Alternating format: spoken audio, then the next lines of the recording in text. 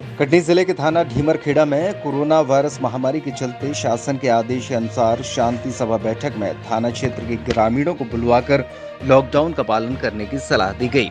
अनुविभागीय अधिकारी ढीमरखेड़ा सपना त्रिपाठी ने कहा कि कोरोना संक्रमण से बचाव के लिए सभी क्षेत्रवासियों को सावधानी रखने की ज़रूरत है।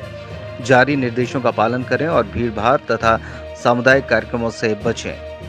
रक्षाबंधन, कजलियों और जन्माष्टमी के त्योहारों में कोई भी सामूहिक कार्यक्रम नहीं आयोजित करने की समझाइश दी गई।